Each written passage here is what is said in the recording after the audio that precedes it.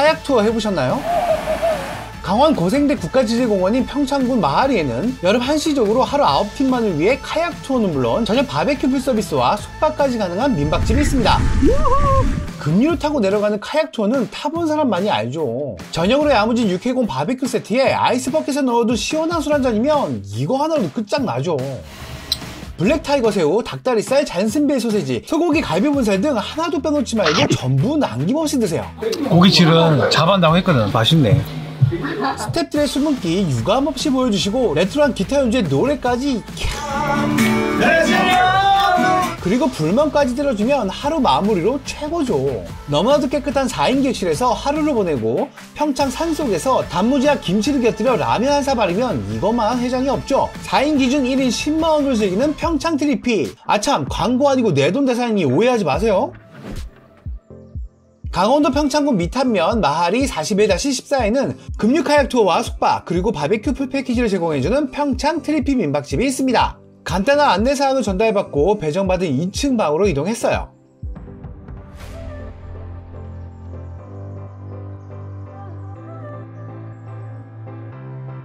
센스 있게 저희가 도착하기 전에 방 안에 에어컨을 가동시켜줘서 들어가자마자 너무 시원해서 좋았습니다. 어, 시원해. 조금 작지만 깨끗하네, 엄청. 오, 넓네, 아주. 방에 냉장고는 없으니 사오신 술과 음료는 1층 주방에 있는 공용 냉장고에 개인별로 바구니 담아서 보관하시면 됩니다. 카약 투어는 2시부터 시작이니 1시 30분까지 체크인 하시는 걸 추천드립니다. 자, 이제 카약 투어 하러 가볼까요? 출발!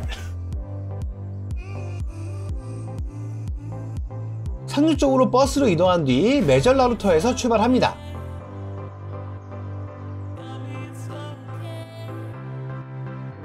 안전교육, 패들링 교육, 투어링 팀워크 교육을 진행한 후 본격적인 카약 투어가 시작됩니다. 제가 10여 년 전에 래프팅 타러 동강 많이 왔는데 카약 투어는 처음이라 살짝 긴장했어요. 하지만 매니저분들이 친절하고 안전하게 잘 안내해 주셔서 재밌게 즐길 수 있었습니다.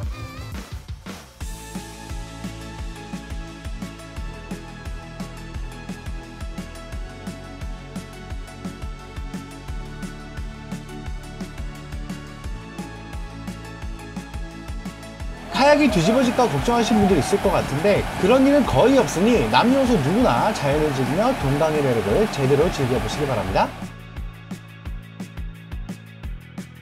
파파트래블의 다양한 여행 및 민박집 정보를 빠르게 받아보시려면 구독과 좋아요 부탁드리고요. 궁금하신 점은 바로 아래 댓글 달아주시면 제가 바로바로 바로 답변 드리도록 하겠습니다.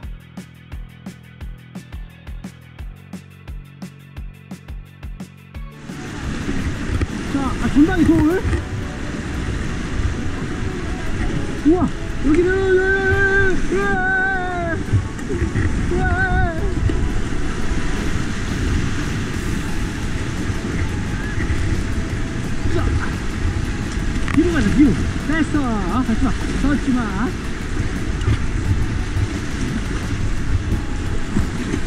우와.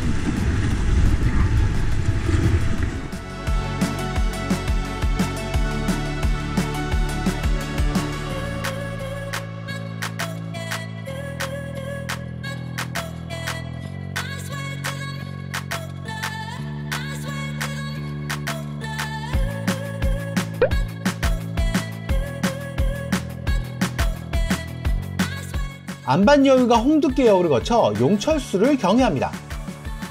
동강은 석회암 지역 특성상 강물이 지하의 수많은 동굴로 스며들고 하루에서 압력을 받아 물이 용출되는 곳이라고 합니다.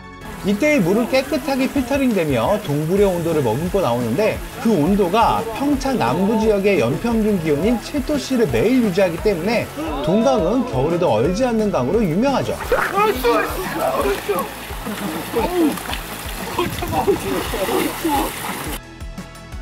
예전에 동강 지역은 화전민촌으로 부유하지 않은 가난한 마을이었다고 합니다.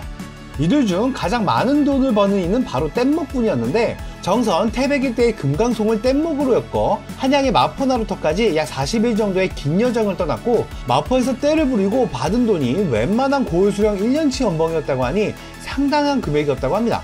그래서 그때부터 뗏목꾼들이 떼돈 벌었다 라는 말이 생겼다고 하네요.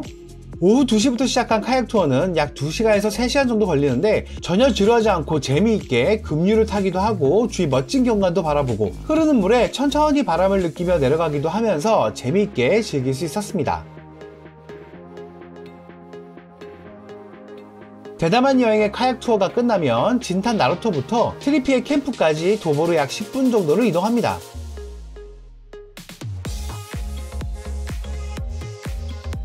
이동 중에 얼음치마을 공원을 지나 출렁다리를 만나게 되는데 이게 또 은근히 재밌어요. 내가 보이네? 안 하지만. 못 들리네. 못 들리네. 오. 오. 잠깐만. 아이, 또 이거네. 아, 나 흔들어. 아, 나안 흔들어. 나 지금 안 흔드는 거야. 방으로 돌아와 샤워하고 잠깐 쉬고 있으면 6시 30분쯤 오늘의 하이라이트 바베큐가 준비됩니다.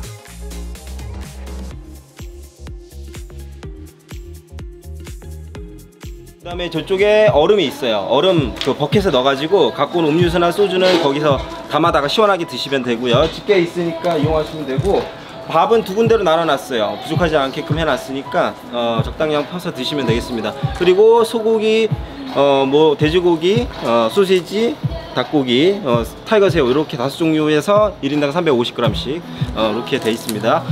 어, 그리고 어, 토마토랑 양송이를 이제 자리에 착석하시면 드릴 텐데 토마토 같은 경우는 같이 불에 구워가지고 소고기 먹을 때 같이 찍어 드시면 감칠맛 나고 맛있어요.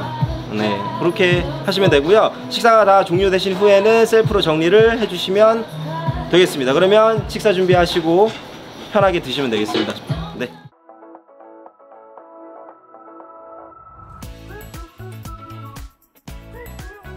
그리고 쌈채소는 사장님 부모님이 직접 농사 지은 채소를 사용한다고 하니 아낌없이 드시되 버려지지 않게 맛있게 드시면 됩니다.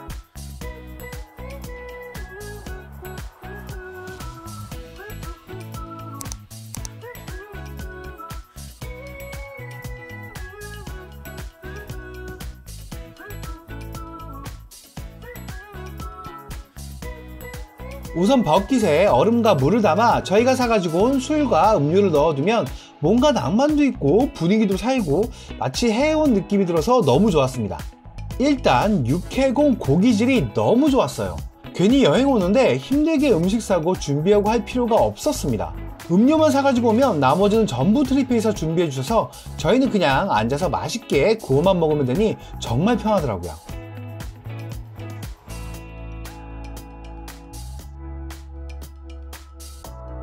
뭐가? 아 그리고 이 된장국은 매 직접 담근 강원도 전통장을 이용해 조리한 된장국으로 색이 좀 진하고 깊은 맛이 인상적이었습니다. 어, 또 의외로 되게 맛있네 이게. 이런 맛이.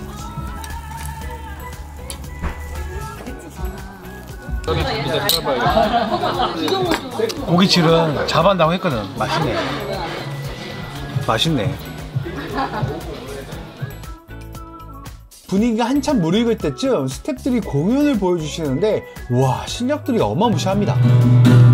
어느 하루비라도 추억처럼 덕분에 더 재미있고 즐거운 시간이었어요. 마무리로 불멍 타임을 가지며 아쉬운 하루를 마무리했습니다. 다음날 아침, 아침 식사를 하기 위해 일찍 주방으로 내려갔어요. 별거 아닌 것 같지만 준비한 정성을 느낄 수 있는 컵라면으로 간단하게 식사를 하고 다음 여행지로 이동하시면 됩니다.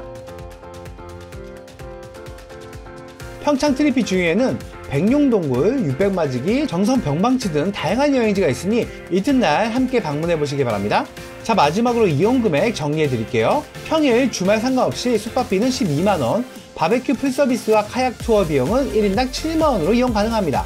더 궁금한 사항은 상세 페이지에 남겨드릴 테니 확인 부탁드리겠습니다. 그리고 광고 아니고 내 돈 내산이라는 거 알려드리면서 지금까지 여행을 즐기는 두 아들의 아빠 두두빠였습니다. 다음에 또 봬요. 제발.